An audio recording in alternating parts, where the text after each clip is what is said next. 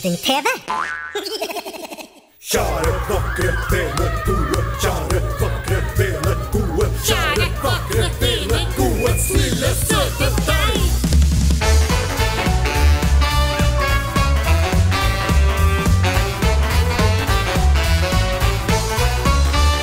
Det var en gang ei kone, hun stekte pannekake. Sju sultne skriker unger, de skrek og ville smake. Å nei, sa pannekaka, nå spiser de meg opp. Den snudde seg og kom seg ut av panna med et hopp. hopp. Stopp, pannekaka, vi vil ha den. Ta den. Over gulvet og ut av døra i en fei. Den fortsatte å trille bortover en vei. Så møtte den en mann, neimen pannekake, hei. Ikke trill så fort da du, la meg få ete deg.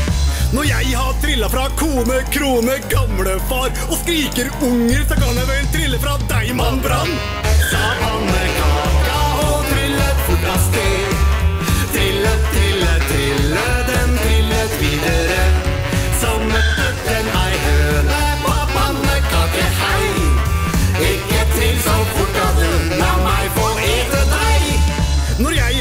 har fra kone, krone, gamlefar, skriker unger og mann, brann, så kan jeg vel trille fra deg, høne på høne, Sa pannekaka og ga gass, forbi en fyr på trommer og tre på kontrabass.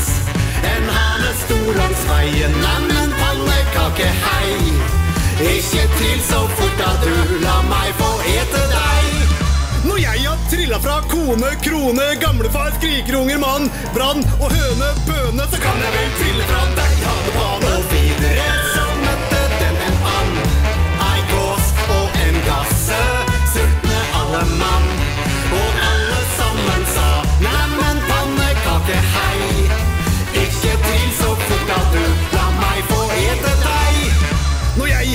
trilla fra kone, krone, gamlefar, skrikerunger, mann, brann, høne, bøne, ane, bane, anne, vanne, gåte, våte, kan jeg vel trylle fra deg, gasse, basse. Langt om lenge møtte den en gris. Hei, skal vi slå følge, sa grisen med et glis. Gylte grise, sylte, du virker snill og grei. Jammen flaks at du og jeg skulle samme vei. Ja, hva du driver med sånn ellers, da? Bortsett fra å være gris, da.